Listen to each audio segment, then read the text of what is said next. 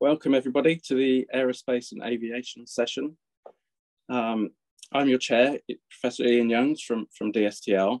I'd like to uh, introduce you to, to the agenda we're going to work through uh, over the next 90 minutes.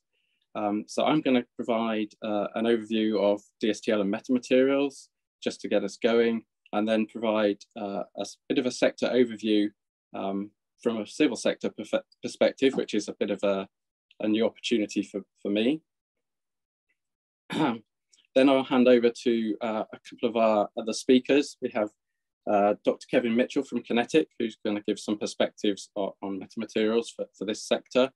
And then on to uh, Mike Sloan from Technical Composite Systems, uh, who's going to talk about uh, metamaterial composites and their applications and opportunities.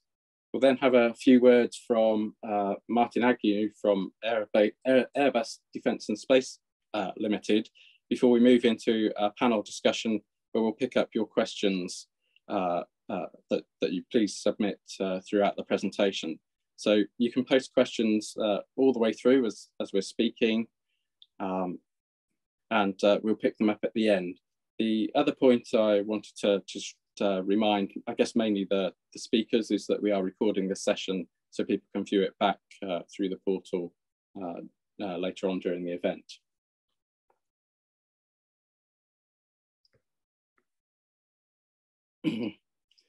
so I just thought I'd set the scene. Um, what I hope you'll get from this session and in the context of, of the aerospace and aviation sector is that metamaterials are relevant. Uh, they are potentially revolutionary and uh, it's, it's time to start exploiting them now. So I hope my slides in particular share some confidence established from R&D in the defence sector.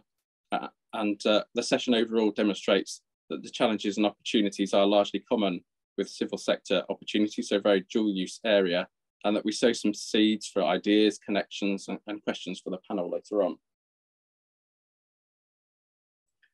So it's just useful to reflect quickly on, on why uh, this is important. Um, and I guess the government sets uh, an agenda um, under the strapline of strategic advantage through science and technology.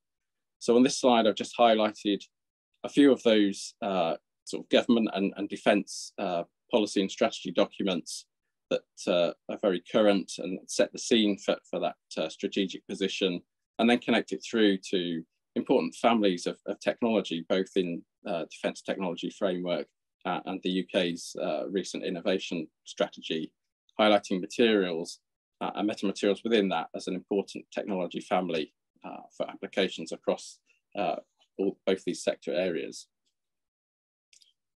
The other factor on the slides is um, is about trusted research and, and I guess linked in with strategic advantage through S&T um, it's very much uh, also about spotting the opportunities, getting the investment uh, in place to support those things, but also being aware of, of developing that advantage and, and uh, being conscious of, of, what you're sharing. So also links uh, on this slide, but if you visit the, um, the DSTL booth, um, there's a download uh, of a, of a new pamphlet from CPNI, the Centre for Protection of National Infrastructure, on, on some of the, the things that you should bear in mind uh, when you're sort of breaking out into the world in these application spaces, um, engaging globally. So it's just worth very quickly reflecting on, on, on sort of metamaterial journey over time. Uh, these sorts of materials uh, have been of interest and named as metamaterials for, for about 20 years now. So in that context, uh, you know, as a, as a median or, or mean view for hardware-based technology, you really expect to, after 20 years, it's starting to break through into products and, and applications in, in, the market. So metamaterials has that pedigree and timing to, for, for that to, to be relevant for a conference of this nature today. And um, people are also kind of really interested in a range of, of emerging technologies and, uh, you know, how does metamaterials stack up in the context of some of those things like quantum computing, synthetic biology, graphene, and things like that. So I've just pulled out a little bit of data here that demonstrates that metamaterials is in that, that league alongside those emerging technologies. Uh, and some other data which, which shows that, you know, the global competitiveness for, from the sort of academic feed, if you like, of, of science and technology feeding into this.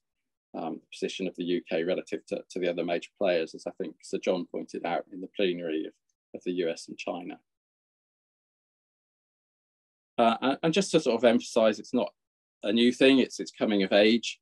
Um, the UK Foresight Review in 2004 uh, talked about the subject in its Exploiting the Electromagnetic Spectrum paper, and uh, it uh, looks back at that uh, 10 years on um, and highlighting you know, some of the things that this KTN network and, and, the conference is about is bridging into the commercial applications. You know, where are those going to be? Uh, and it's very complicated because it's a, a, diverse uh, technology field that, that will match up with a diverse application field. But you'll see in that uh, through through that sort of formative stage from a UK perspective as a government department, the MOD uh, was kind of uh, volunteered to, to sort of perhaps look after that to a degree and engage with, with that sector. So this next slide just provides um, sort of an, a, just a snapshot of, of, some of that journey over, over the last 10 or 15 years for defence and engaging with, with academic uh, programs, um, some international research. I'll come back to that in a second. Um, but building up through through large program grants with multi multi centers involved, looking at a wide range of things from discovery, design, manufacture, and trying to connect to the application concepts, developing talent uh, through, for example, the doctoral training center at Exeter, and then some other specific grants that, that have uh, probably just finished now. But you see some examples in the DSTL booth of some of the current PhD work that we're sponsoring to keep in touch with the, the sort of science and technology frontiers of the subject. This is quite an old example, which some, some of you will see me mention before at various events. Um, it, it, dates back uh, probably about uh, 10 years now or so, where we undertook a project uh, with the French, with, with industry and academic partners, really addressing that sort of basic question, um, do metamaterials make a difference to antenna design? Um, are they revolutionary or evolutionary? And we looked at a, a range of possible application scenarios, um, SATCOM, uh, global navigation, uh, electronic surveillance, uh, identification, sort of friend foe type, type applications.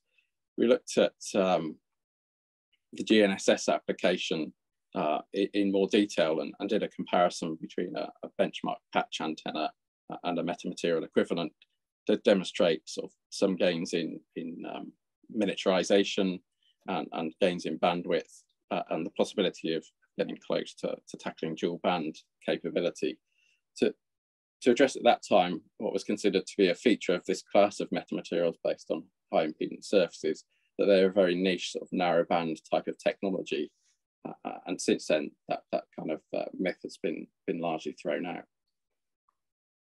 Moving on to um, sort of test the market a bit further in the transition from, from academia to, to industry, we embarked on a, a defense uh, accelerator competition on metasurfaces over the period shown here. Uh, and as, as, I've said, it was both to, to sort of help us identify further game-changing concepts um, to help us build in uh, and broaden the uh, engagement of, of um, MOD R&D programs beyond our materials program, and as I said, test the emergence uh, from, from academia to industry. So we funded uh, a range of different themes there, um, from functional materials for antennas, things to do with non-mechanical beam steering, uh, new electromagnetic coatings and novel fabrication techniques, so quite a wide range.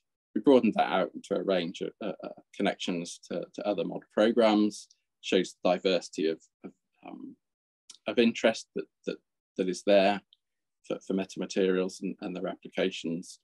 And uh, some of the, the, data shows that the kind of balance um, of, of the, the, the, proposals that were submitted and the proposals that were funded between academia, large, small and micro companies. So there's some indication of, of movement from academia to industry, but still quite dominated by, by academic contributions in that phase. So really important that we're having an event like this today.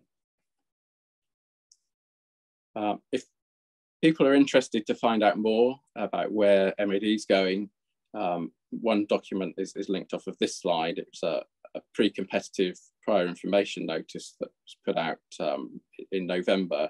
It talks about the possibility that we're considering to, to, to engage with centres of excellence in uh, for materials for extreme physical environments, but also materials for the congested electromagnetic environment. And of course, um, physical assets need to, to work in, in both of those environments, which is why we see it as really important coupling those two themes together. So to, to just look at um, a particular um, application area, really focusing in on the electromagnetic operating environment. So the schematic of that in the center of the slide characterizes some of the aspects of that environment, how dynamic it is, how complex it is, how congested it is, and, and those are all you know common factors with the civil sector. I guess uh, for, for defence, the contested thing comes in a bit more. And there's some ideas of the sorts of capabilities that are important at the bottom of that section. So where does some of the metamaterial work that we've been exploring fit into that uh, antenna and communications type of situation? But it's about the efficiency, the resilience, the capacity of those systems.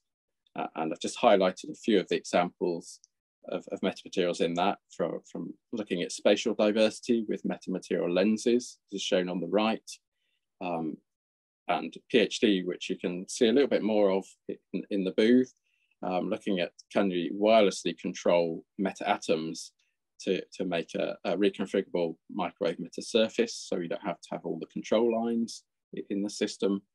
Uh, and then uh, another example, which I'll, I think I'll touch on in, in the next slide, kind of how, how do you make uh, antennas more conformal uh, and uh, and still work well um, with, with novel ground planes. And I think Mike's talk will, will touch into that sort of area as well.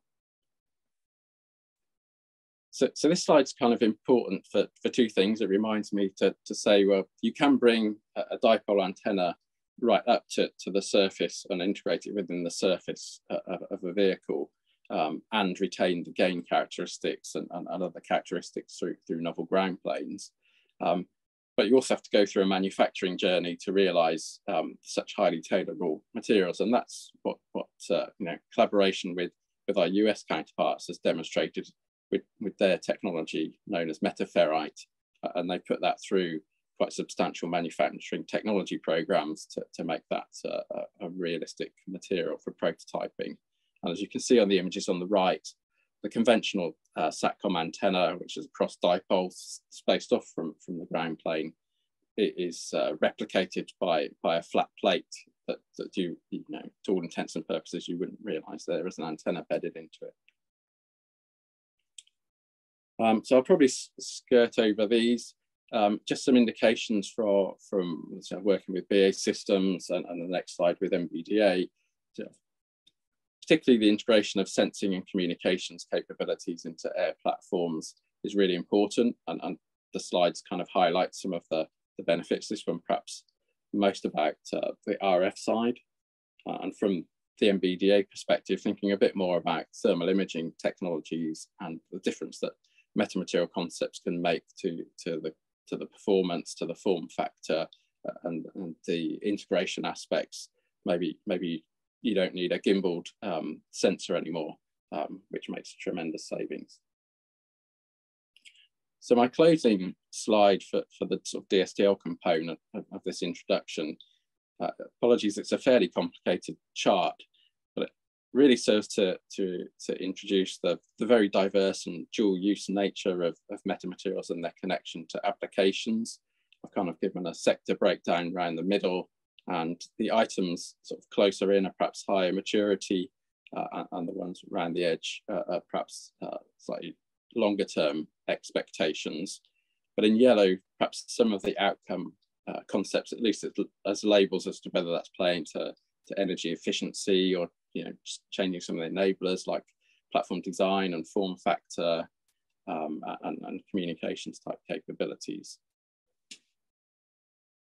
So I'll just take a breath and then I'll move on to, to give a bit of an overview of uh, sort of some of the civil sector drivers, just to set the scene for, for hopefully some discussion. So as I move into this, um, I'd like to acknowledge some, some important contributions to the next slide for, from Alex Hickson from the Aerospace Technology Institute, from Hannah Abson from, from KTN in relation to the Future Flight Challenge, uh, from Nick uh, and, and uh, Martin, who will talk a bit more uh, later on, and from, from colleague Laura Jones, and also from the KTN, and some of the space related aspects that I'll touch on. So kind of apologies for some of those who, who weren't able to, to join the session today, um, but hopefully I'll capture the, the essence of that sufficiently for our discussion. So what I want to sort of step through in a few slides is a little bit of a view uh, from the from the ATI, I guess, in terms of aerospace and aviation. I'll say a few things about the space environment, uh, and then perhaps sort of trying to really open up our imagination around future, future flight and the nature of of, of perhaps local and regional um, kind of air, air platforms and interaction with, with society um, to, to end with. So obviously one of the, or perhaps the major driver for, for everyone uh, now is, is, the net zero uh, issue, the, climate change issue and, and, achieving net zero by 2050. So, so that's really sort of front and center in, in this. Um, so those of you who aren't familiar, the Advanced Technology Institute, um, yeah, is, is the sort of national entity that, that leads the development of, of the uh, sort of industrial R&T investment from, from government to support, support the sector uh, and go on these missions. So the vision for, for UK aerospace is to be globally, to maintain sort of global competitiveness for our industry uh, and leading technologies um, and, and lead on to, to the world's most sustainable commercial aircraft. Uh, and the mission of that investment is to, is to help the sector accelerate to, to high value technologies that, that, have high environmental impact uh, and support the economy and, and society. Um, I guess the ATI owns the National Aerospace Technology Strategy. Uh, I guess slightly poor timing for this event. We're you know just waiting for, for publication of, of an updated uh, uh, strategy in that space. So, so look out for that one. So I guess one of the, the key programs or, or, or not, programs is Fly Zero um, that ATI is, is uh, has introduced. It's, you know, it's underway, aiming to realize zero carbon emission from commercial aviation by 2030. So very demanding time frame um, involving the, the, the community. So I won't try to, to explain it in, in detail. Um, it's, it's an initiative that, that commenced uh, last year. Uh, and I guess in terms of air platforms, air vehicles, it's focused in, aircraft that, that might be single aisle or regional and, and have ranges of in, in, in the vicinity of 500 to 1500 nanometers. So it just sort of scales the, the context. Just thinking, you know, with some input from Nick and uh, Nick Crew from, from Airbus, some of the opportunities for metamaterials in that context. Likely to be around lightweighting, the structures, but also the power and data cabling. A lot of weight tied up in there. Um, so, so maybe concepts linked to to something that uh, you know metaboards were talking about, or, or, or, other and similar concepts might really transform the nature of power and data transmission in those structures and lead to, to lightweighting benefits, which has you know cascade in, in terms of uh, energy efficiency, uh, maybe uh, to tackle noise issues as well. So linking through and thinking a bit more about the efficiency of flight, uh, the integration of sensors and comms link um, is likely to, to make aircraft or could make aircraft more efficient in their flight. Um, you can think about functional materials uh, linked to metamaterials concepts that might come to play to, to improve power electronics for more electric aspects of, of aircraft. Uh, and perhaps a really important one is around thermal management in propulsion systems for electronics, but also thinking about alternate fuels and their supply chains in connection with the industry, such as you know the whole hydrogen uh, uh fuel uh, opportunity, um, and, and, potentially the need to transport that as, as a, in a cryogenic state, uh, and so on. But also not forgetting, I guess, physical aspects of cybersecurity, sort of anti-jamming, anti-interference type of things for, for communication systems. Uh, probably, possibly a lot of potential there. So just to highlight um, some of the areas that the ATI fund is captured on this slide. I guess one of the important ones in terms of that translational space and, and early project space is, is, is, for SMEs and competitions through, through the NATEP scheme, um, collaborative R&D, etc. And uh, Mike's uh, project he'll refer to falls under that category. So I now move on to just say a few words about space applications. It's obviously for the UK um, very growing area um, in terms of sort of policy and strategy space, but also for, for industry. I've captured some of, some of the sort of statements about that here, I guess. Um, ambition to capture 10% of the world market uh, over the next decade. Uh, but the UK is in a sort of strong manufacturing position, producing 20% of satellites in orbit and uh, you know, developing the path to be able to launch satellites from the UK um, for, from now on. Um, of course, sort of adding to that civil picture, um, MOD set up UK Space Command uh, last year as well to, to, um, to drive that harder and uh, have, have sort of more independent indigenous capabilities. Um, so just thinking about the space environment, launch operations in space and the applications there, um, probably offers some unique challenges for materials and some of those might have solutions associated with metamaterials. So in my next slide, um, just think about some of some of those possibilities. This is not an exhaustive list. It's again just some seeds for people to think about. So perhaps very different and non-linear um, thermal conditions. Uh, thinking about thermal cycling of satellites in orbit and other space stru structures. They really go between extremes. So can metamaterials help with with thermal management in that context? Um, very high vibration environment during launch, um, but a very uh, constrained sort of volume and mass uh, situation in terms of payloads. So uh, again, I think Sir John mentioned uh, something about uh, you know acoustic materials and, and, and um, reducing their size in his talk. So could acoustic metamaterials offer compact vibration suppression and isolation solutions and systems? When you think about the sort of ionizing radiation or just the general radiation environment in, in space also being quite challenging, another area to think about in terms of radiation hardening and shielding. Uh, I've already touched on mass efficient deployable structures. They're really crucial for, for getting uh, capability into space. So the mechanical metamaterials area may come to play in that. And you know, antennas aren't unique to, to space, but yeah, can metamaterials produce and, and enable optimization of, of the best performance and antennas uh, to operate in the extreme environments encountered in space, another aspect, uh, another path for, for thinking about what metamaterials can do. So I think in, in this slide on its own, it really reinforces that, that kind of um, landscape map that I, that I showed before.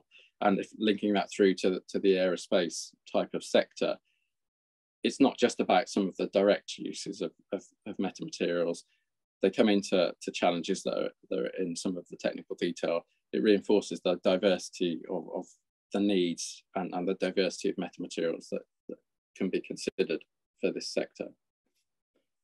So moving on to, to the final section uh, uh, for me in terms of the future flight challenge. Um, so this is, uh, the image really shows the futuristic nature of, of lots of autonomous uh, land and air vehicles operating some conventional stuff maybe if you look at the bus and, and obviously people interacting with that environment. It's a very sort of future, but maybe not too far future view in, that image. So the Future Flight Challenge is an industrial strategy challenge fund investment from government uh, over a four-year period, and it's, it's now moving into its demonstration phase. It's quite a large program um, industry, and it's it's really trying to to start the process of positioning the UK to to deliver products to, to capitalize and, and to, to benefit from, from this area as is conveyed by the picture. Um, it's a very sort of socio-economic situation. So I think one of the slides I've I've got sort of really picks up on, on the benefit drivers here, quite a wide range, which I think is a good stimulus. Um, as I think Irina talked about, thinking about the, the need rather than just pushing metamaterials and, and is metamaterials the right solution. So, so that's sort of covered on this slide, again, sort of highlighting the diversity of, of the types of structures and vehicles to, to build and then integrate capabilities into, whether that's the propulsion system or you know, it has to be able to sense uh, and, and, receive communications to, for command and control, particularly if it's autonomous vehicles. Um, so I won't try and read through there, but just highlight the, the need for, for enablers to achieve these things in, in designing, building and operating them as a diverse set. Uh, again, reminding you about the the increased complexity and congested nature that's evoked by, by this scenario. It's very dynamic. Um, it's a physical one. Um, we need to think about acoustics as well as the electromagnetic environment. And uh, obviously, energy demands um, need to be dealt with and, and dealt with efficiency, efficiently and, and with efficient use of resources. So being able to, to miniaturize without losing capability, to be able to have more flexibility and form factor that metamaterials enables, um, all starts to play into to that, I think. And again, this, this slide just uh, highlights not just taking a view at the component level or the system level, really thinking about the system of systems, the whole system, the ecosystem it's operating in. Um, there's both a need and an opportunity space. Um, and, and that's thinking about what the operating model is going to be like, what's the regulation structure, what's the infrastructure that needs to go around it, sort of touching on things like, you know, if it's a different fuel uh, system like hydrogen, as, as, well as the aircraft systems themselves. I just added to the, to the side some of the high level um, sort of roadmap priorities that, that the program's uh, been looking at across some of those, those themes. And you pick up you know, quickly things to do with communications and sensing uh, and energy uh, through through that.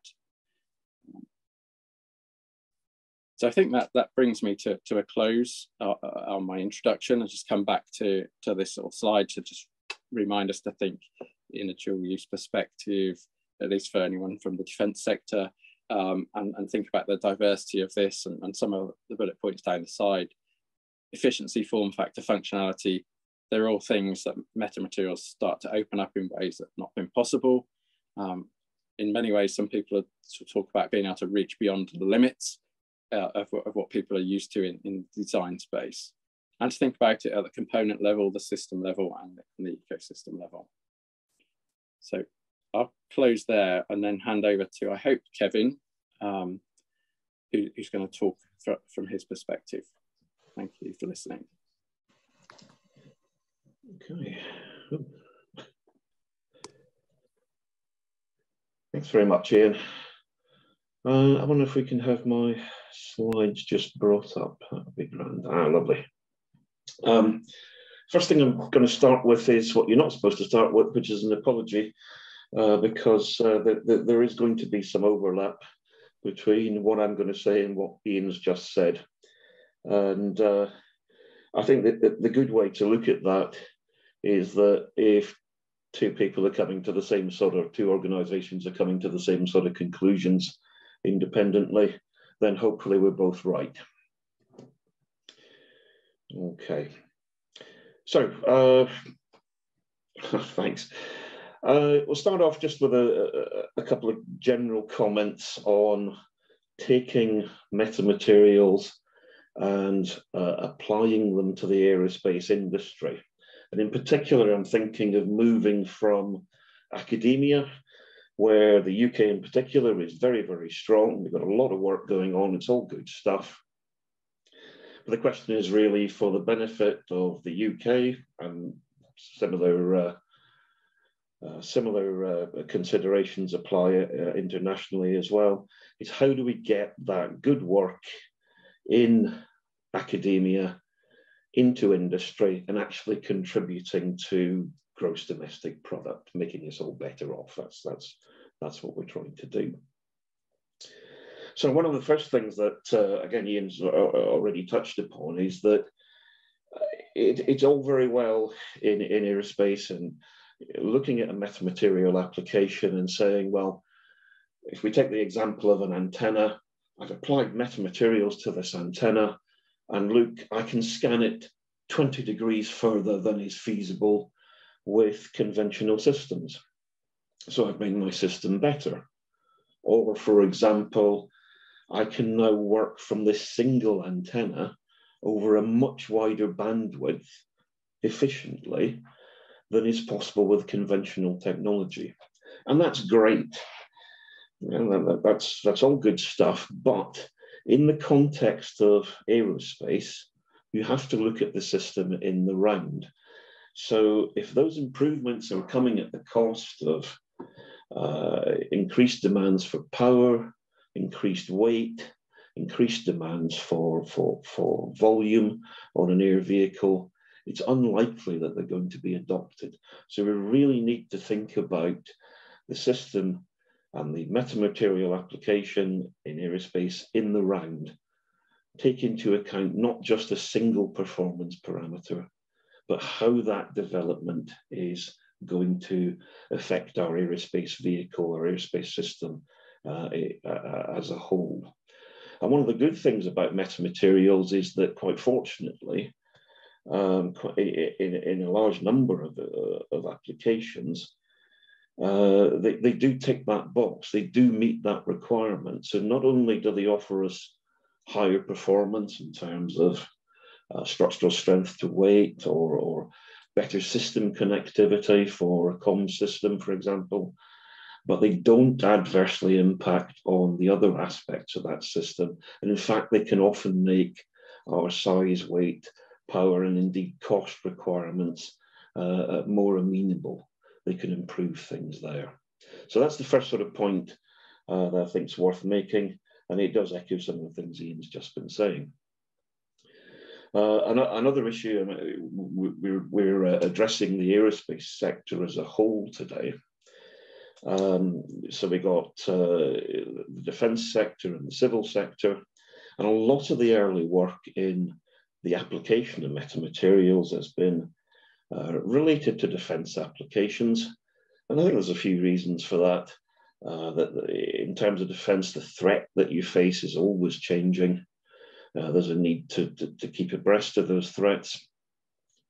Very often in, in, in looking at defense applications, we're not looking at a single performance parameter we're looking at multiple parameters and we need to address them all at the same time. And as I've just alluded to, quite often metamaterials can allow us to meet all of those requirements, to improve all of those parameters simultaneously. And that's a key aspect, I think, of getting the best out of metamaterials.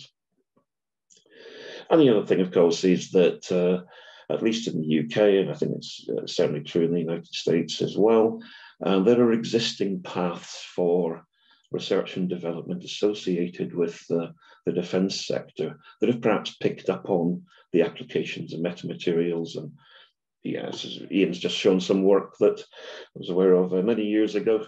Uh, so I think that, that that's very much the case. But that is changing, and we've just seen some examples of where uh, certainly the UK government is keen to start pushing uh, the, the, advantages or the investigation of metamaterials with, with, with an aim to address the civil sector. And the sort of thing we've got to be aware of is that in general terms, if we go back decades, the defence market has, has shrunk in terms of number of number of vehicles, number of applications, whereas in aerospace, the civil sector has expanded uh, things have taken a bit of a hit over the last couple of years, obviously, but it's generally the case that uh, the, the, the, civil market in aerospace is the one that's expanding. And those key challenges are efficiency and that reduced reliance on fossil fuels that, uh, that, that, we've just, uh, uh, just been talking about. Now, in terms of the pictures on, on the right-hand side of the slide, what I wanted to do actually was to uh, to, to, to, address a point I'm going to make on the next slide, which is that the aerospace sector is diverse and it's hugely diverse. So the, the little red and yellow vehicle on, on, on the upper picture is, uh, is a target drone. Uh, it's got a top speed of about 200 miles an hour. It's not necessarily designed to come back. Are there applications of metamaterials to that aircraft? Well, actually, yes, there are. Um, we go further down, and we, have got a representative from, from, from Airbus with us today, but at QinetiQ, we also make uh, satellites, uh, in Belgium, I should say. Uh, and are there applications for metamaterials to satellites? Well, yes, there are. Are the drivers for those applications the same as for a target drone? No, they're not. They're completely different. Uh, so we do have to be aware that the aerospace sector is hugely diverse. It's very, very wide spread indeed. Okay. Um, uh, if we could have the, uh, the, the next slide then, please. Thank you very much. So, uh, as I've, I've, just been talking about, in aerospace, we've got a huge range of different applications. We could be talking about hand-launched drones that, uh, say, a fire brigade or a coast guard might want to use to assist in their rescue activities. And there'll be a set of drivers uh, associated with that sort of application.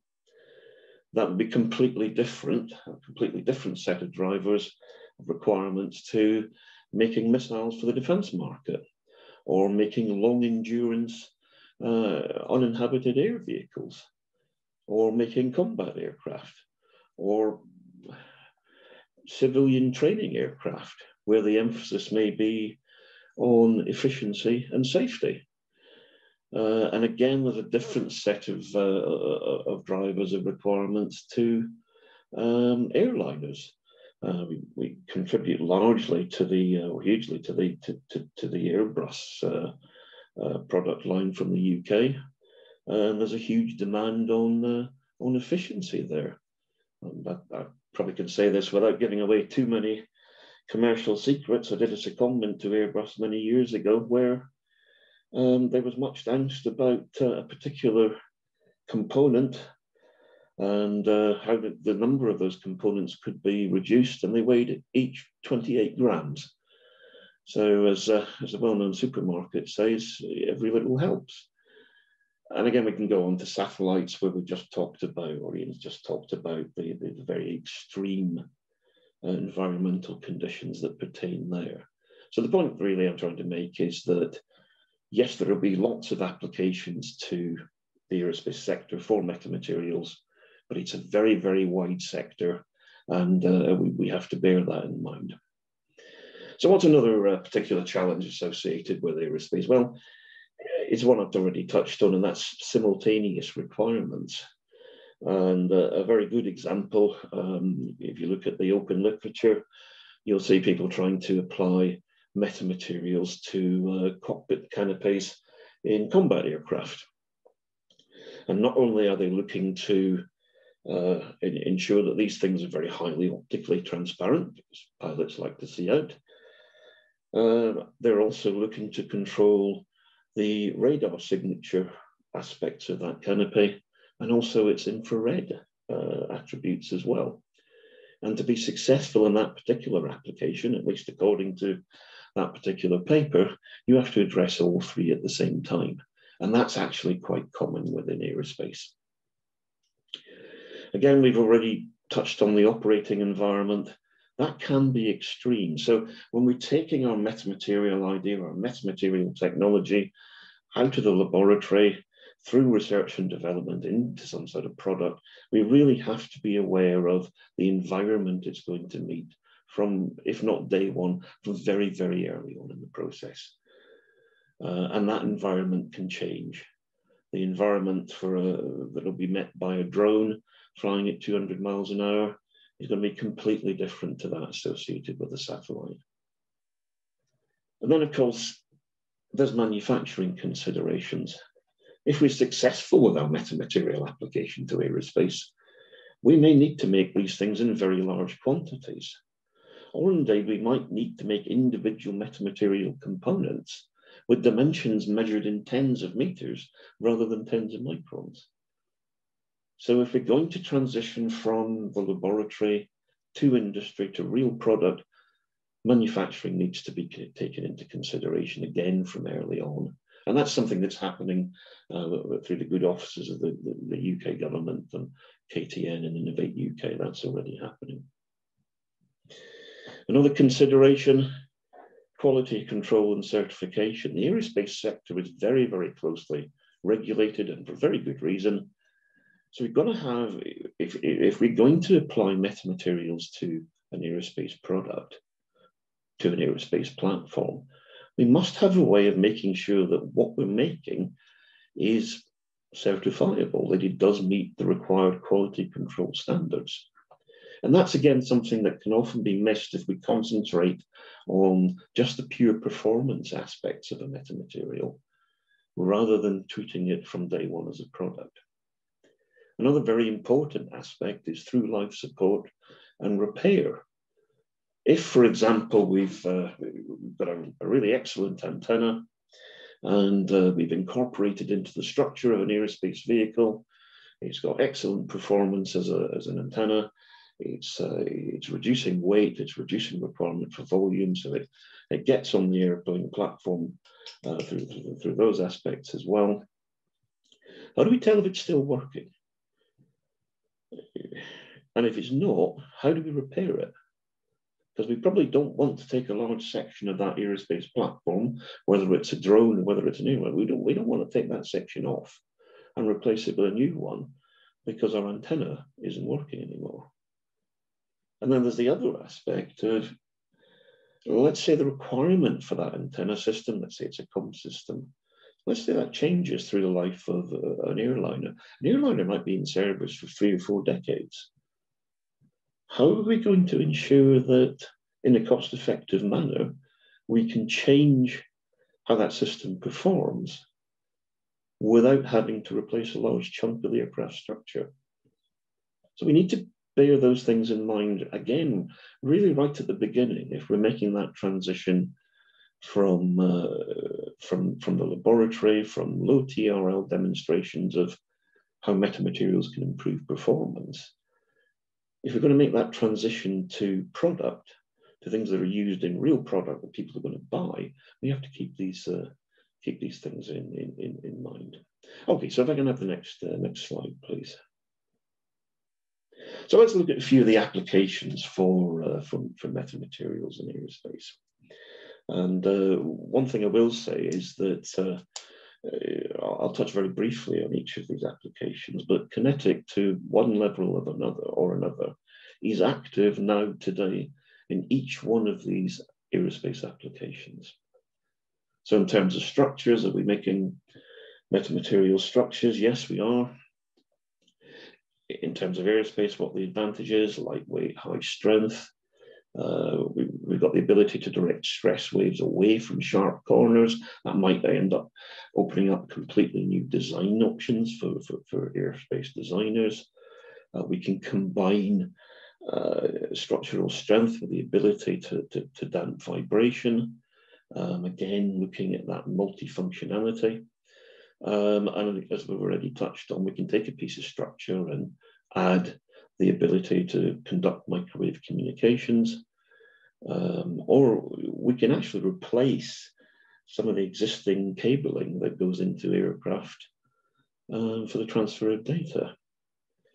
Uh, we can look at acoustics. Uh, again, we're, we're, active in acoustic metamaterials.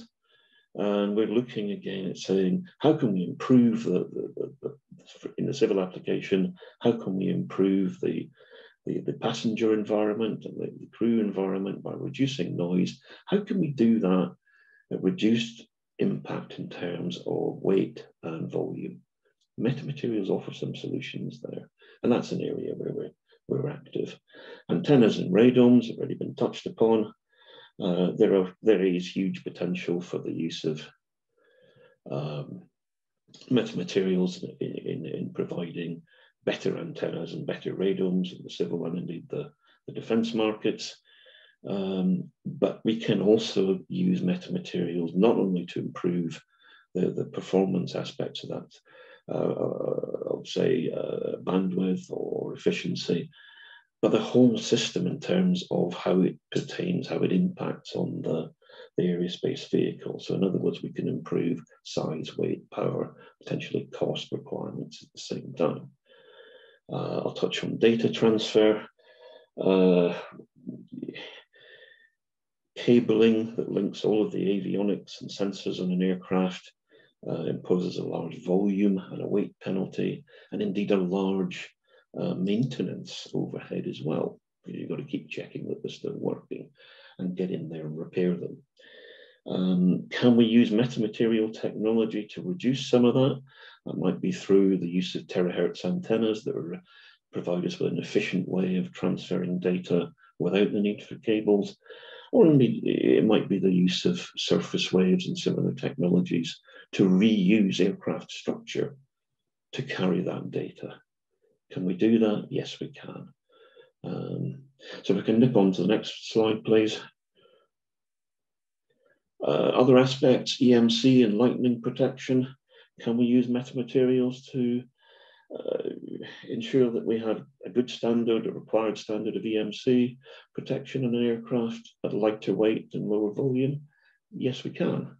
Are there ways of using metamaterials to offer better lightning protection? Yes, there are.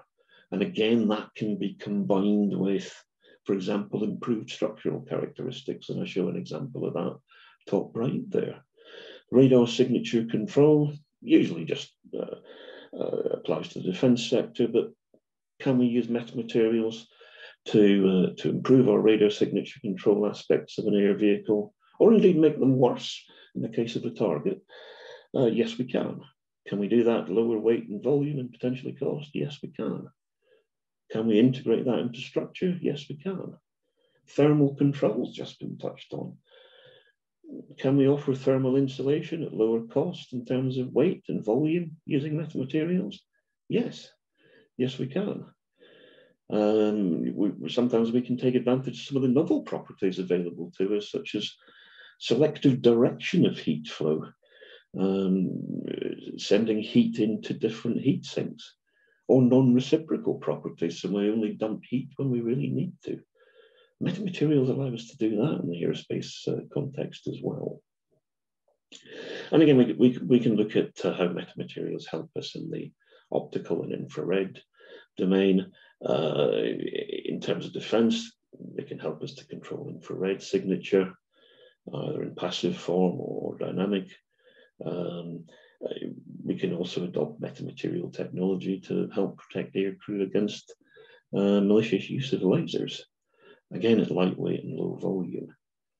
So there's a really wide range of applications for metamaterials in aerospace.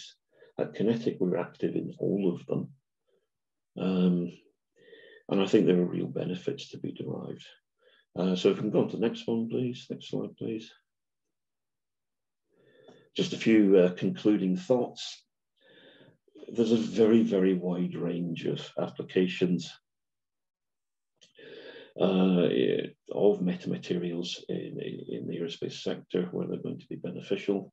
I think if we're going to get the real, the maximum benefit from metamaterials, we're going to have to consider multifunctionality. And of course, if we're going to do that, we, we need to have underpinning material science. We need to have reliable and rapid design and optimization tools. And as I touched on, we need to have large scale production facilities. And a, a final thought specifically for the aerospace sector. Um, we need to consider through life support, repair, upgrade. That needs to be part of how we implement a metamaterial in the aerospace sector. And that's really all I've got to say. So uh, I hope I haven't sent you all to sleep. Thank you.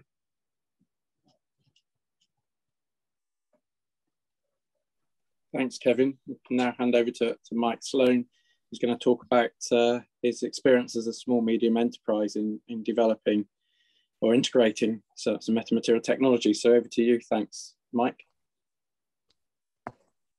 Okay, thanks very much, gents. Let's just check this is working. Okay, good afternoon, no, good morning, everyone. Um, thanks for your attention. I'm uh, Mike Sloan, Director at Technical Composite Systems. We're an SME uh, in the UK. Um, and this is my talk, Metamaterial Composites, Applications and Opportunities. Now, I'm not going to go into too much detail on composites um, because that probably will bore people. Um, and I can't go into too much detail on metamaterials because it's not it's not actually my expertise. But what I do want to do is is just talk to you about our journey over the last sort of three, four years, our adventures with metamaterials. Um, and certainly over the next 20 minutes to, to inform and, and to entertain. So over the engineer, I've, I've got a bit of structure for this presentation. I want to want to start off by talking and, and, and explain to you who technical composite systems are. Um, it, please don't look at that as a sales pitch because that's not the intention. It's it's really to get into context how an SME gets involved with with SM uh, with metamaterials and and the complex technology that it is and and where we sit and where we see ourselves. So kind of you know our, our little position in in the big machine of, of science and innovation. Um, then I'm going to talk to you about how we saw metamaterials when we first started as an SME. You know, so how did we get over that that sort of barrier of actually getting started into a new field of science? Um, the idea of combining metamaterials and composites, so effectively the application. Um, then I'm going to really the core is is the project that that we worked on, the project that we delivered. So I've got some stuff to show. Um, with a really good result at the end. Um, that's actually blossomed into a second project, which which rolls nicely into into the opportunity, both immediate opportunity for for us and metamaterials, but also the longer term and, and where perhaps we we think we can go next. So TCS, we are um, a British SMA. I'm incredibly proud to be part of the, the British manufacturing industry. Um, innovation is, is absolutely key to our business. It's front and center of our business plan. But as an SME, that doesn't generate immediate cash returns. So we have to balance it carefully between making products and getting them out of the door and generating the products of the future. So we are um, AS 9100 accredited for design and manufacture of all tooling, composites and injection moulding. And we're both active members of uh, the NCC up in Bristol and um, our trade association, Composites UK, both, um, both excellent organisations. So um, TCS is part of um, the CSS group of companies. That's three companies, all privately owned by the same directors, um, all based on the same site. So we're um, Paignton in Devon, beautiful Devon in, in southwest UK. Um, Paignton's in Torbay, or Torbados as the locals like to call it. Um, the three companies occupy the two buildings I've highlighted there. Um, we've rapidly run out of space. Um, uh, and I've got great things planned that I'll touch on in a second. But the three companies are Technical Composite Systems, which I'll, I'll, speak more about in a second. We've got investment casting systems, which is our tool room. So it's CNC machining of very accurate fixtures, dies, mold tools, and predominantly injection mold tools. And that feeds nicely into the third company, which is our injection molding arm of the group, which injection molds aerospace, uh, aerospace components and uh, large consumer um, reusable tote bins. I talked about us running out of space. Well, we need to plan for the future. So this is an artist's, uh, uh, um, a designer's impression of our new building. This was about two years ago. Um, it's a site about half a mile up the road, overlooking Paignton Zoo. Um, this is how they predicted it would look. And here's the building about two weeks ago, and it's not it's not bad, apart from um, a little bit of a of a leaky roof, some some utility problems, and uh, access road issues. You know, they've got the building the right shape, and we're due to be in their Q2 this year. So 60,000 square feet for the group. It's a real asset to, to our ongoing manufacturing and, and expansion. So what do we do? So we're an SME and technical composite systems. That, that's kind of the clues in the name. We, we specialize in composite materials. That covers a wide range of, of, of, of family of, of, materials, short fiber, long fiber, reinforced.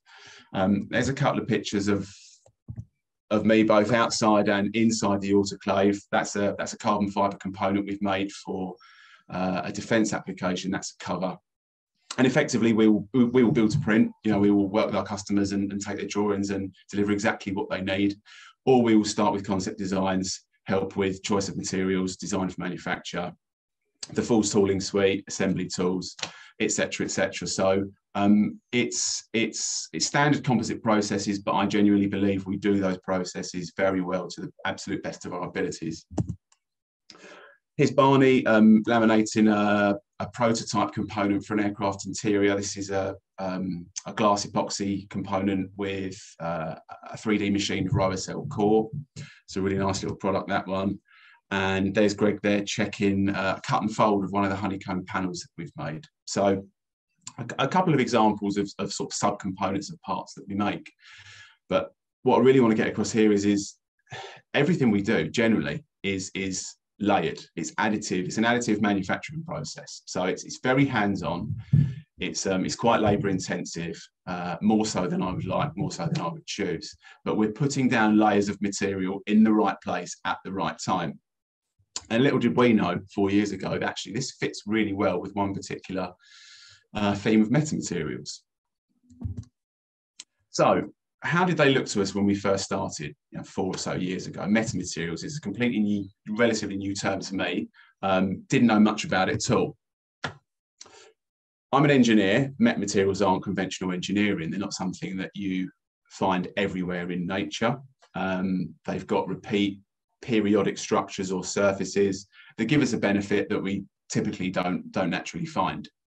Um, and reading into it, sounded fascinating, sounded great, you know, um, the sort of the cloaking and the superhero stuff really captured the imagination, but there was a lot of new terms, it was a new language, and I've used this analogy before, it's like going back to GCSE French and, and, and gave me quite a few headaches, but, but we stuck with it.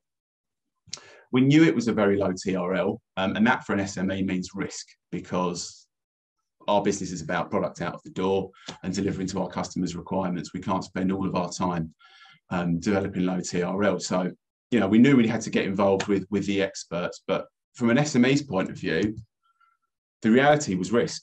You know, why should we get involved in metamaterials if it's such a risky business? You know, the results we know are going to be unpredictable. We have to fund this work as a small business. That's our resource, our people, our materials, etc. Um, and it's a lot of hard work. And the skills you needed, we knew we would need in abundance uh, uh, uh, those sort of enthusiasm, resilience, and tenacity. I mean, that's that's a day in the life for any engineer or scientist, really, or, um, or, or daily life. But we knew it would be hard work. That's balanced out with the opportunity because we could see that we can we can up our game with the materials that we could offer, and that innovation would allow us to differentiate ourselves from the competition. It was never going to be a short-term win. Um, but the longer term cash return that we could see, we thought it was worth the risk. And, and as I mentioned before, innovation is key to, to me and my business. And, and it, it really did sit front and center with, with our business plan. So it looked risky. The opportunity was there. We decided to, to crack on and go for it. So here was the idea. Um, this is a, uh, an image I've, I've, I've borrowed from Boeing but it's a civil airliner, 787. And, and as I understand it, you build your aircraft, you take a nice aerodynamic tube, and then you start sticking loads of things onto it, antennas. So they can be of all different sizes and shapes, but you turn a, an aerodynamic tube into a, a bit of a porcupine, a bit of a hedgehog. Now, looking in a bit more detail, if we look down the um, the back of the fuselage. You can see a, a VHF blade antenna there at the front. Um, but the one really to sort of draw your attention to is that SATCOM antenna. It's quite, it's massive actually. It's, it's a lot bigger than it looks. You know, that is an aircraft. The scale's a bit deceptive. Um, but it's a, it's a big antenna. It, it sits out in the airstream. It's, you know, it's potentially vulnerable to damage. Surely there's a, there's a, there's a way of improving these, of, of putting them in a different place, making them smaller. Now there is one conventional approach that's been around for, for quite a few years, and that's conformable antennas. So take that SATCOM antenna and sink it into the fuselage. So that grey skin on, on, on my image there becomes the fuselage surface, and the yellow box is, is, the, is the container for the hardware. We call it a base plate. Um, uh, and that is an approach that, that has been used before. So I'll put a slide up saying, look, you know, how cutting edge is this? Are we reinventing the wheel? Well, you take the latest generation fighter plane, that is doing a lot of communicating. I, have got no idea comparative to a civil airliner. I would hazard a guess it's a it's a damn sight more. There's nothing sticking out of that. It's all conformal. It's all very Um, very interesting. So the defence guys are leading the way with, with material developments. Um, we're just doing the very best we can with the resources we've got and the applications that we've got. So I'm not saying that we're, we're absolutely at the cutting edge, but we are doing some very interesting work that I'll show you in the next few slides.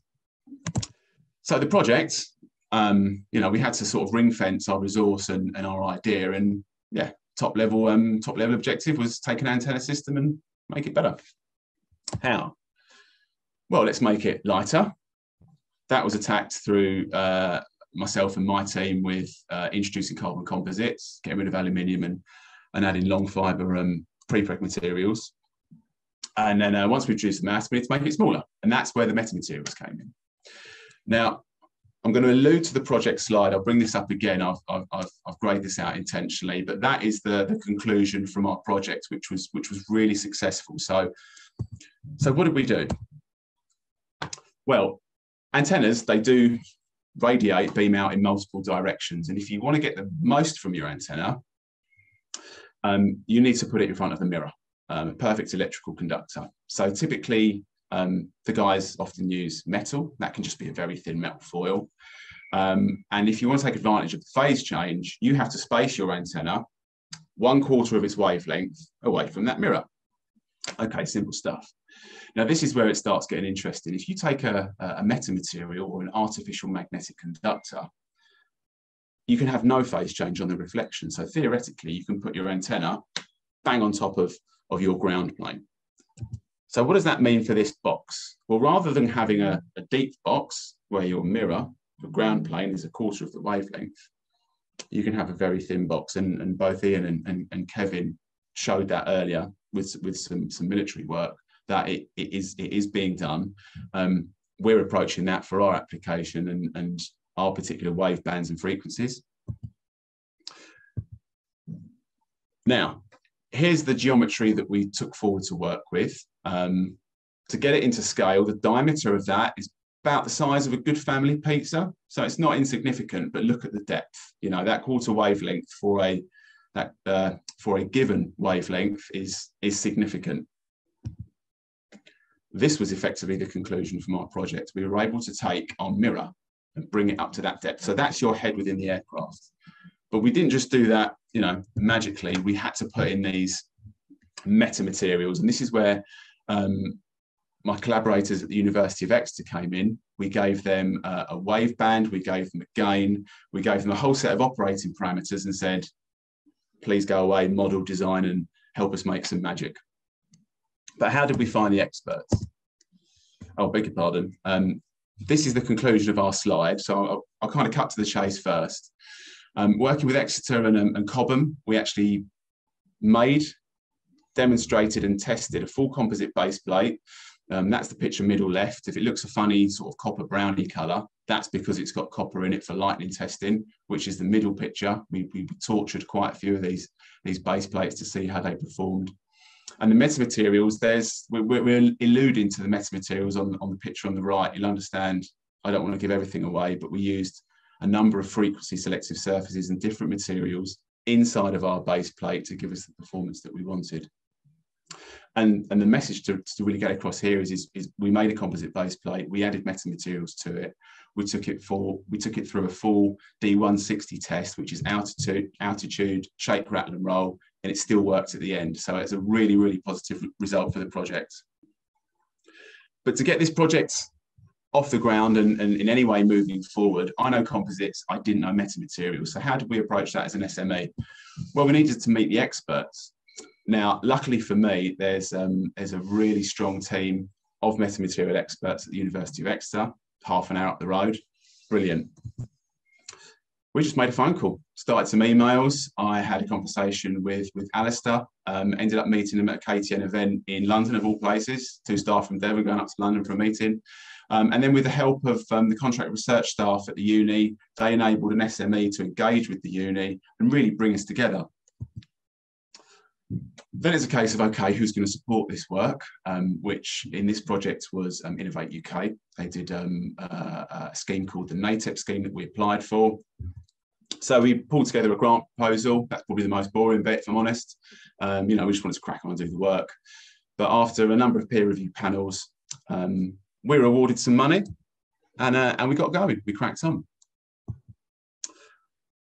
So here's our base plate. If I talk to you a little bit more about the sort of the opportunities I see it, um, this was our, our output from the project with our metamaterial inside. Now, as I've already mentioned, I don't want to, I can't and I won't uh, expand and explode the, the, the, makeup and the, the ins and outs of that metamaterial. I've got it there changing color because after all, it's just magic. Um, that in itself is a layered composite structure. Um, there's a number of different elements that make up that metamaterial. And, and what's encouraging for me to say is it is very similar to technologies that we already worked with. We didn't know this at the time, but it's a layered structure, maybe half a dozen different components in, in controlled positions, um, very accurately made, um, designed by um, the physicists at the University of Exeter. Um, and we've got an opportunity to improve that even more. So yes, it is a multi-component structure. And if I use my analogy of earlier of food, my favorite things, that base plate is diameter of a, of a large pizza. Think of the uh, metamaterial that we made inside as, as a layered structure. So that maybe that's like a lasagna or something, you know, that's not the best term. Maybe, maybe a tiramisu, uh, uh, uh a walls, uh, what's the, the layer pudding from the 80s? I can't remember. It, it's quite complex, but if we take each of those individual materials, individual component materials of the metamaterial, we've now got great confidence that we can improve those in turn and make those even better, which then compounds to make the system improved. So um, one thing we are currently doing with the live project, this is the roll on from the first, is investigating those raw materials themselves. So we're now working in the arena of making our own materials, not our own structures, our own materials. And this is very special particles that we're loading into different materials to tune the performance.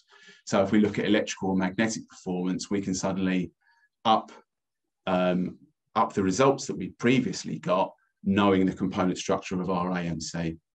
Some of the results we got weren't too great. We you know we had a, complete killing of signals and a complete loss, but that has an application somewhere else. Um, and we can take some of the, the lossy materials, the materials that didn't work so well, maybe change their densities and find a secondary application. So the research, the innovation is going in, in a number of different directions, which for an SME is, is brilliant. And, you know, we really value um, not only this arena to present today, but to work with the academic institutions, be part of the Metamaterials Network UK, um, and, and do our little bit in driving things forward. I think I've just got some thank yous. Yes, I must thank you. Uh, I must say thank you to uh, firstly, the panel today and the other speakers, as well as the KTN for the, the invite for this talk.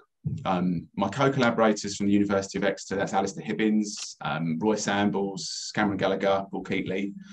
Um, thanks to um, the UK Metamaterials Network, and, and really to wrap up, thank you to the audience for listening. Um, please feel free to contact me independently with, with any questions for, for the project or, or um, any other applications, or we can take questions um, in the panel session at the end. Thank you very much. Thanks, Mike. That's great. And yeah, just to remind people to, to post their questions. I'm just going to hand over to, to Martin Agnew from Airbus to, to make a few comments while we get ready to, to address some of the questions that have already come in. So over to you, Martin. Hello, everyone. Hope you can hear me.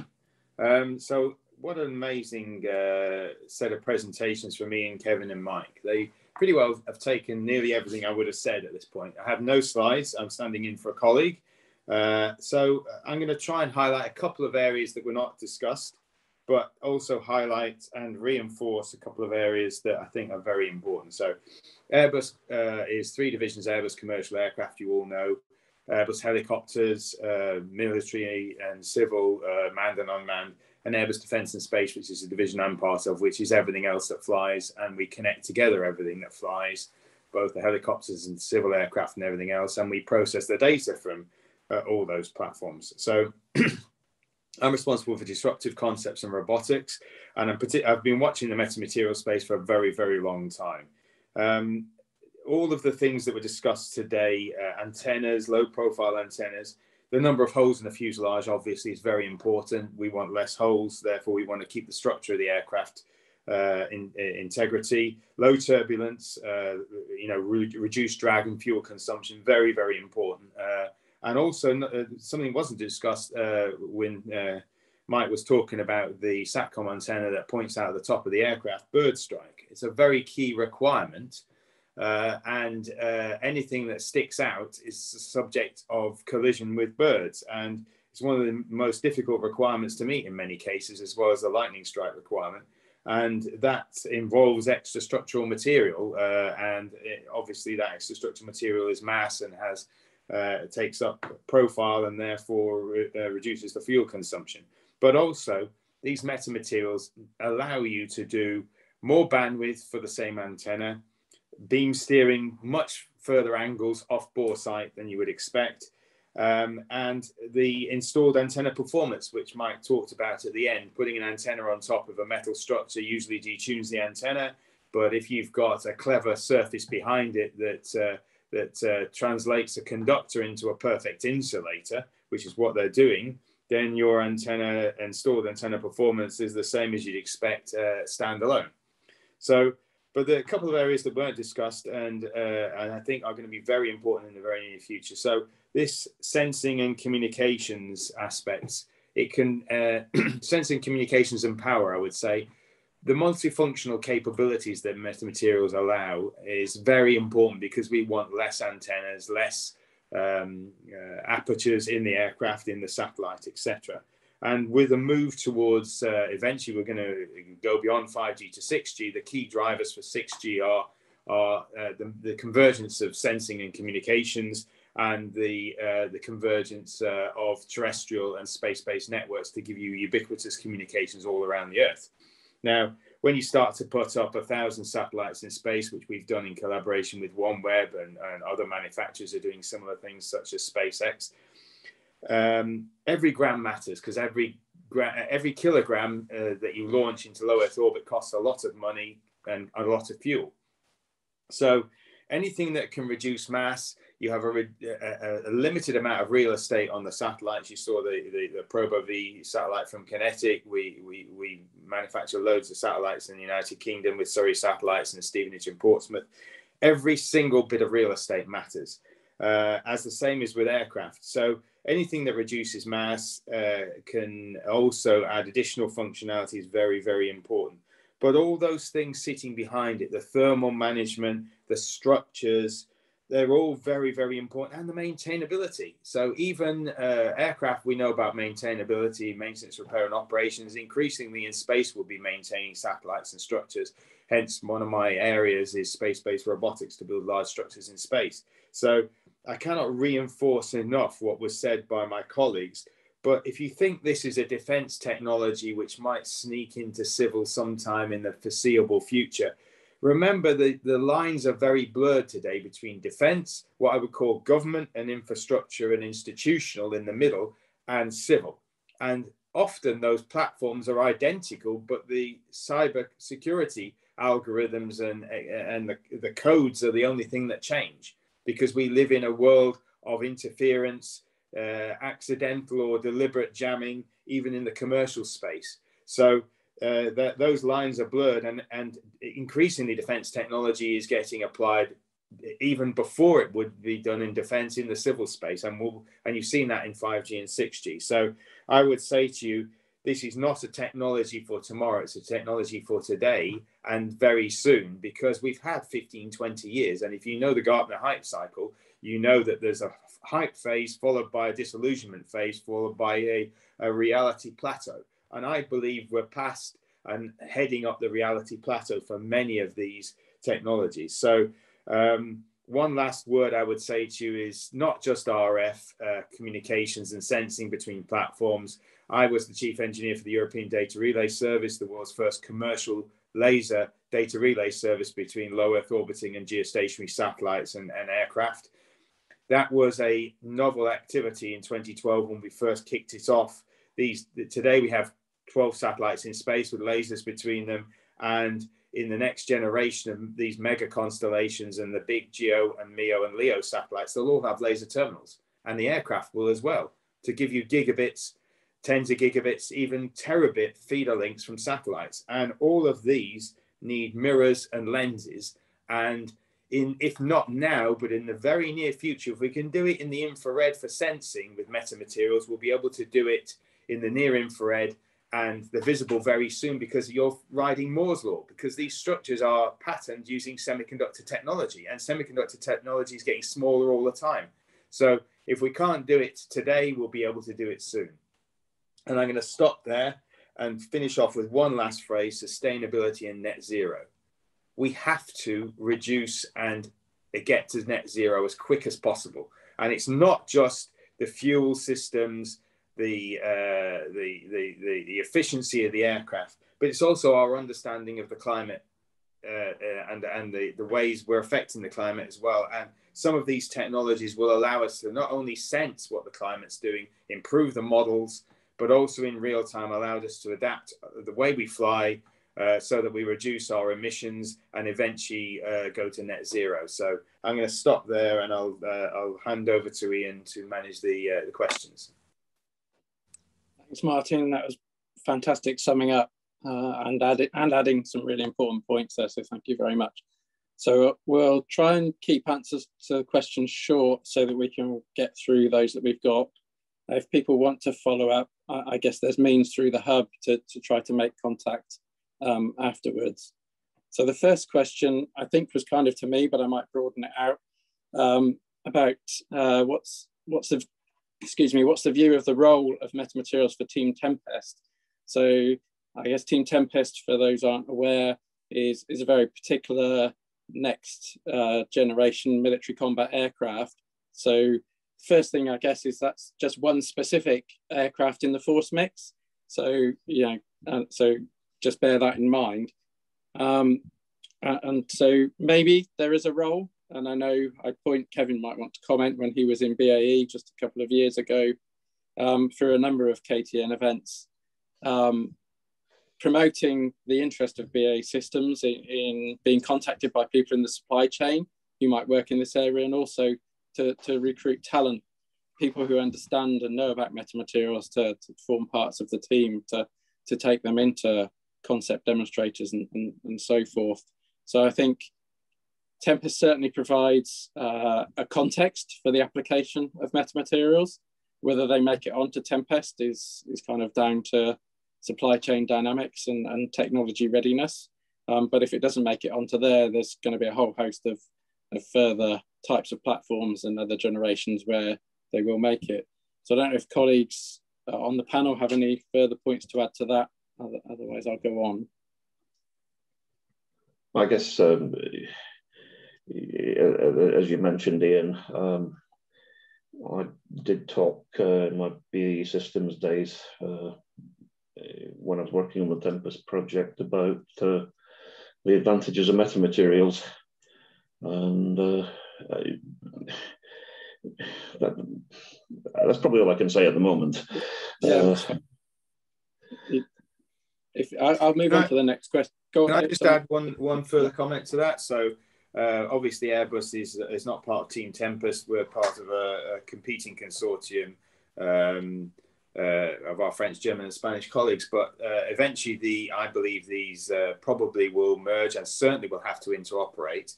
And one of the big things we're pushing and uh, is the multi-domain combat cloud. So it's not just about your aircraft; it's the network and the connectivity which allows you to be able to sense and uh, and, and and form effect. Uh, and you already see that with the F-35 today. It's a it's a very networked aircraft, uh, and increasingly you're going to see the cloud coming to the edge and each of these platforms has got uh, has got information it needs to share with the rest. So you have a combined capability, and all of that involves comms, be it uh, uh, uh be it laser, be it RF, be it terahertz, be it low frequency, you name it, it will be used. And for every one of those, there is a direct, tangible, and almost game changing benefit with metamaterials, I would say. Thanks, Martin. Um, so the next question um, for, for Kevin. Um, on average, how much does QinetiQ invest in time and resources from idea to commercialization of a custom metamaterial application? Um, okay, if, if you specify a range, Kevin. Yeah, it's it depends is the uh, I suppose rather predictable answer, but it can be many man years It has been, and it can be millions of pounds. It all depends on what you're doing and what potential reward is, as, with any business. Uh, in some cases, the, the, the, projects are very small. Um, perhaps if we're looking at uh, something that's more consumer orientated, in some cases, it's a very long time uh, in, in terms of man hours, and it's a lot of money. It's new production facilities, and those are all things we've done. It depends on what the potential value is for, for, for, for QinetiQ. Uh, but it, it, varies hugely, is the answer. I, I, guess we're in a sort of fairly bespoke phase as well um, for, for the metamaterial technology. You know, think back to Martin's comment about the hype curve. So, you know, that's kind of where it is. It's, it's a bit more intensive at the moment, I guess. Did anyone else want to come in from the panel? So uh, I would just say that the, the, the, the, the, thing to remember is it's not just the investment on the military side. There's going to be so much commercial investment in the near future, if not already. Uh, you've seen it in 5G. Uh, you'll certainly see it in five and a half or 6G or hash G is what I refer to it as. Um, so there will be a lot of money available, be it from VCs, from government, uh, and from industry. Uh, and banks uh, and institutions. The, the, the, investment will be there. It's finding the right people with the right skills is the biggest challenge, I would say. There are not enough people who understand this or even understand the benefits to start to know that they've got to learn uh, a new set of skills. Yeah, yeah that, that's actually very true. Something we've been working on quite a bit is, is, is recruitment, is expanding our teams. Uh, and I, I should say, in terms of metamaterials, although a lot of the work at QinetiQ in the past has been related to defense, uh, we're working on antennas and related systems for the civil market as well. Uh, and that, that's really where we see the major applications being. Um, just, as much as I said, everyone wants to be connected everywhere all the time. Um, and we need to do that efficiently, and metamaterials are going to be a very important part of uh, achieving that goal.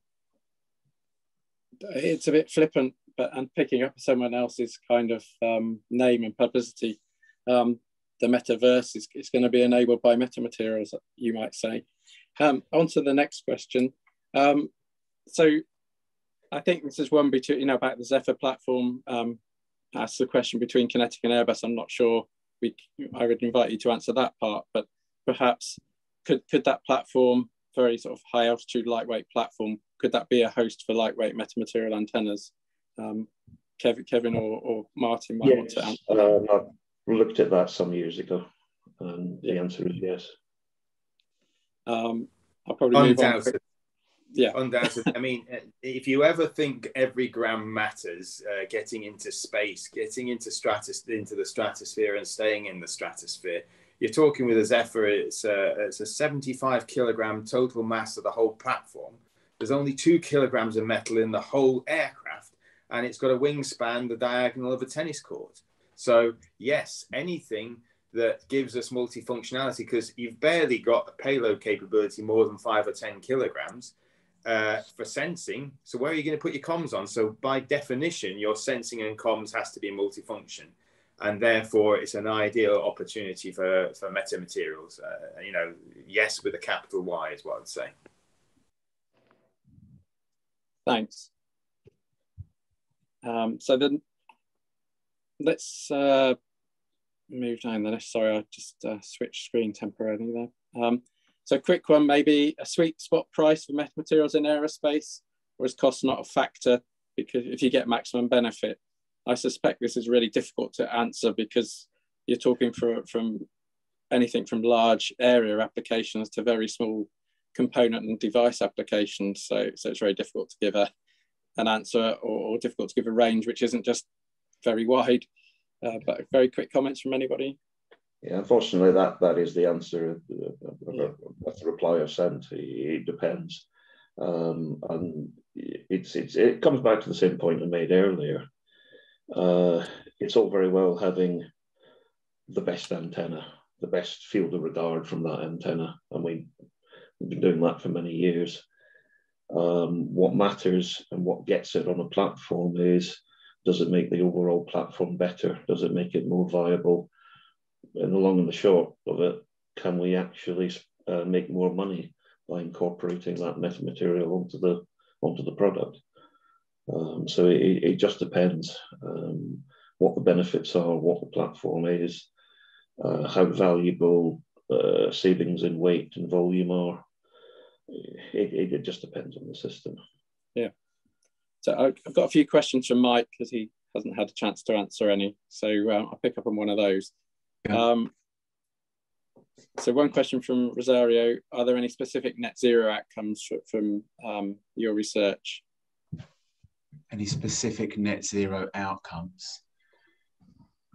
Oh, short answer is, is no. I can't. I can't give you a quantified answer. Um, definitely, the project and our work started with the objectives of reducing mass, reducing size, um, and aiding installation and maintenance of the the antennas. Um, now, you would hope to extrapolate that achieving all of those boxes would would drive on to a, a benefit in net zero, a contribution to it. I haven't got any numbers. I mean, we're we're still in the stages of, of pushing this forward to getting it onto a platform. So um, no, I haven't got any numbers, but certainly the intention is there on those three themes. If that answers okay. Yeah, uh, it probably links on to the next question. Um, whether your composite base plate uh, has been commercialized, and if not, um, have you got a commercialization plan to deployment? How many have I sold? Uh, well, I'm sitting in my office rather than a white sandy beach.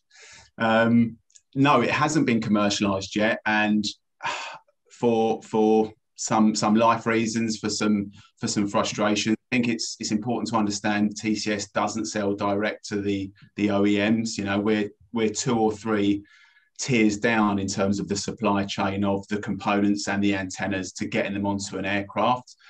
Um, our project was originally set out with a with a um, exploitation plan to market. Um, we've steered off in a slightly different direction, but because we know how these components are made, um, because we own the IP, um, we are taking that forward. You know, we've got the drive and the, the whereabouts to deliver the project. We're not giving up now. So we've got, yeah, we have a route to market now. It will just take a little bit more time. That's all I'll say. So we haven't, there aren't any flying about at the moment, but we're going to drive it and make sure that happens. Thanks, Mike. And, and the next question, which I think might be answered by by anyone on the panel, um, about sort of discussing in terms of having the type of metamaterial antenna concept that you've got, Mike, but taking that to the actual antenna manufacturers um, in, in, the UK, give an indication of, of, are there many UK manufacturers? You know, what's how many entities, I suppose, in that upward supply chain ultimate oh, uh, users? Good and, question. And um, others can answer that. and I'll start if I can. I'm, I'm, I'm, a little bit at arm's length from the antenna manufacturers, I would say, but you know the work we did with with the team at Exeter University, we, we, would be very pleased to, to, to have a chat and a, and a discussion with any antenna manufacturers that wanted to come to us and understand what we've done, what we've learned, what we've made.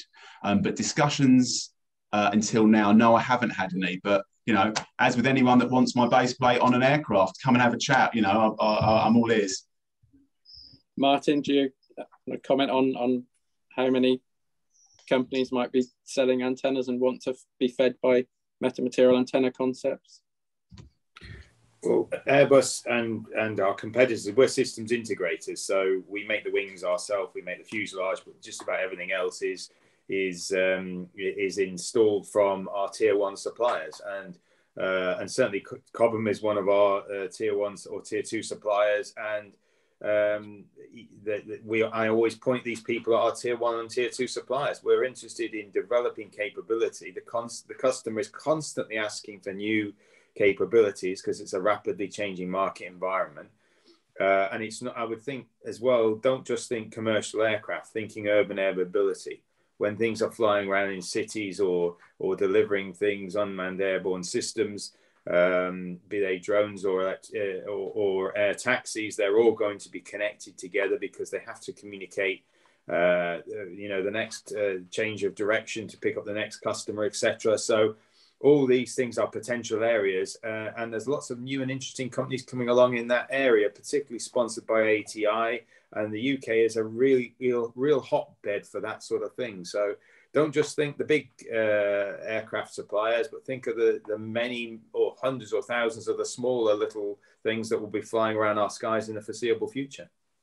And all the ground terminals, all the customers we serve on the ground you know, uh, and, and, and backhaul uh, of, of 4G, 5G via SATCOM. Today, most of that's physically, uh, it's, it's good old fashioned, uh, you know, parabolic antenna stuff. This is open for opportunity. You know, there's so many opportunities there, particularly in the mobile and, and, and automotive area where you want to be connected. So, yeah, there's there's a number of different uh, entry points there, not just the big platforms, but the smaller platforms and the users on the ground.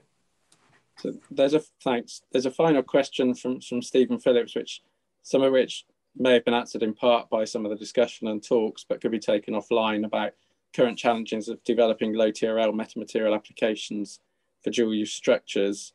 LH2 compatibility, I'm not familiar with LH2, what that means, um, and, and uh, morphing structures, I think. Um, but I think, as you just said, Martin, lots of opportunity uh, I don't know if anyone wants to make a quick comment before we wrap up because we're slightly over over time. That's probably worth saying. QinetiQ makes metamaterial antennas, and we are investing heavily in the people to do that, in the equipment to do that on a larger scale.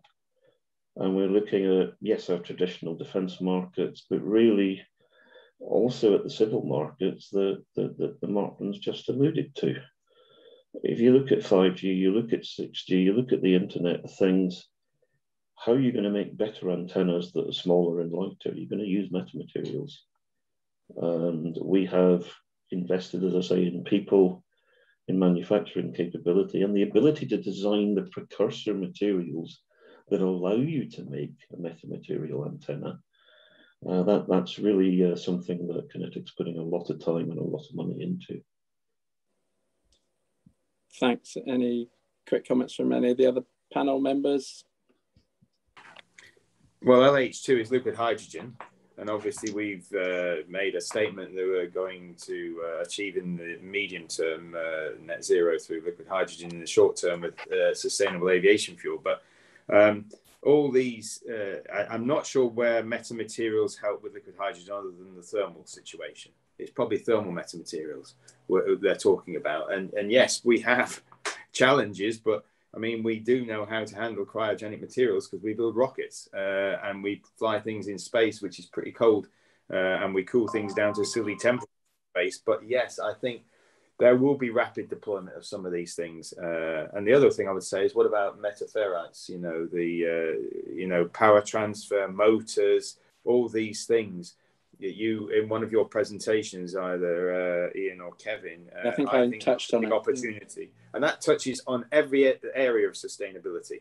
You know, electric motors, electric power systems, uh, wireless power transfer between different uh, parts of the aircraft. Why do we have to have all this cabling? You know, yeah. it's a hell of a lot of copper and aluminium cabling. Um, so yes, uh, I think those real prosaic applications will be there, if not now, very, very soon. Thank you. So, so I'm going to kind of wrap there, I think.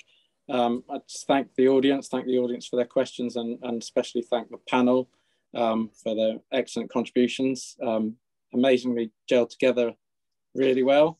So thank you for that, and, and for our KTN support, um, both in the session uh, and uh, for the event itself. So thank you all very much. Hope you enjoy the other sessions available.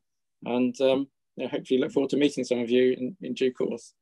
Um, bye for now. So thank you very much.